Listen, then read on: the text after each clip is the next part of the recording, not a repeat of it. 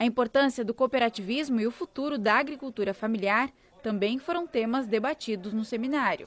Para o jovem ficar na propriedade também não basta só renda, o que se percebe. É preciso sim renda, mas tem que haver conforto e acordo, diálogo intergeracional familiar e o jovem se sentir dentro do planejamento, da organização e da ação e, sobretudo, que ele possa, além de se capacitar, celebrar esses resultados no campo, transformando-se em líder de cooperativas, associações, representativamente falando, e adotando esse mundo da nova tecnologia dentro da propriedade.